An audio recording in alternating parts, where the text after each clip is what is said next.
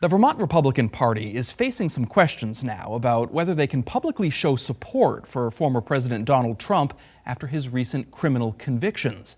NBC5 Stephen Biddix joins us now live from the newsroom. And Stephen, you say the state party actually has a policy about this?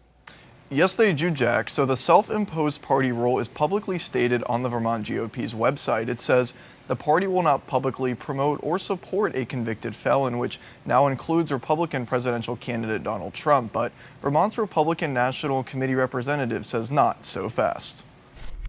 It's a very unusual rule. Just over a week after former President Donald Trump was convicted on 34 felony counts in a New York courtroom, there's some confusion about a rule for the Vermont GOP party. Rule 16 for the party is called Candidate Rule, and it states in part the party will not support or promote a convicted felon. I think it would be wonderful if the Vermont Republican Party were intellectually consistent enough to actually not support convicted felon Donald Trump but we all know that they won't be. But the Republican National Committee representative for Vermont says there's an exemption the state party can use. There is room there uh, with the executive committee exemption.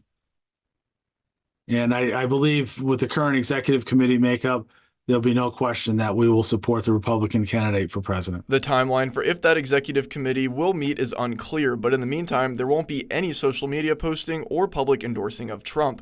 The rule also won't have an impact on the national convention in July in Milwaukee. That's reinforced by an earlier rule in the Vermont GOP rules, which is Rule 12, which confirms that the delegates are bound for whomever uh, the voters of Vermont selected in the primary. NBC5 reached out to neighboring states' GOP parties like New York and New Hampshire who say they don't have similar rules, but back here in Vermont, while on opposite sides of the issue, both parties say this is an abnormal circumstance. I couldn't even tell you if this is if this is out of the ordinary for rules in uh, state party uh, bylaws. It's just very strange that the Republican Party is sticking by a guy who was convicted of 34 felonies. How it came about in Vermont, I'm not really sure, but a couple of years ago, we changed the rule to allow for us to have an exemption. So that puts us in line with most of the other states. NBC5 did reach out to the Vermont GOP multiple times today on if they'll call for the executive committee vote, but did not hear back. Live in the newsroom, Stephen Biddix, NBC5 News.